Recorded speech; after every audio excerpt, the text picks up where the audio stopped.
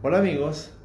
Bueno, impresentable para decirlo suavemente porque estamos hablando de las pensiones de gracia que ya eran complicadas cuando se supo que se daban a personas que tenían antecedentes delictuales, pero cuando se sabe que esa cantidad son 58 y entre ellos varios por delitos sexuales, tráfico, abuso infantil, violencia intrafamiliar, etc., ahí sí que las características impresentables toman toda su dimensión.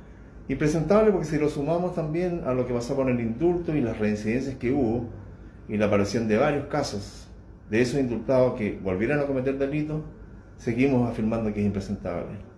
Impresentable escuchar la, la eh, información respecto a la evolución de los homicidios, comparando el 23 con el 22, primer semestre. Yo no entiendo por qué también estamos tan atrasados en la entrega de la información. Y saltamos un poco de alegría porque bajamos un 3%. Pero lo que no decimos de que eh, ese 3% refleja una tasa más o menos por cada 100.000 habitantes de 3,8. Vale decir 3,8 homicidios en Chile diario. Lo que no se dice es que hace 5 años atrás era un homicidio cada 3 días.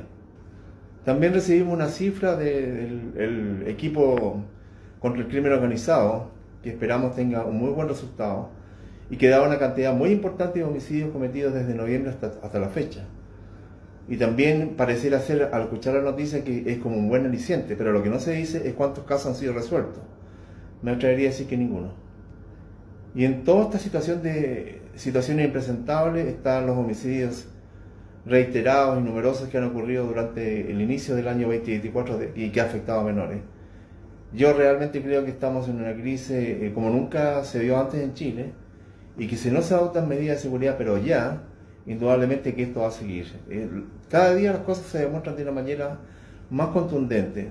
El hallazgo de estas casas de seguridad de los narcotraficantes y de los que están dedicados al tema del secuestro eh, va por ese camino. Por lo tanto, cuando pasó la crisis de Ecuador, hubo muchos que dijeron que Chile no es Ecuador. Efectivamente no es Ecuador, pero tenemos que recordar que Ecuador, hace cinco años atrás, era el Chile de hoy. Por lo tanto, tenemos el legítimo derecho a dudar, pensar, desconfiar y quizás eh, desesperanzarnos por pensar que en cinco años más probablemente seamos el Ecuador de hoy día. Y eso yo creo que nadie en Chile lo desea ni lo quiere ni para nosotros, ni para los hijos, ni para nuestros hijos, ni para nuestros nietos, ni para nadie.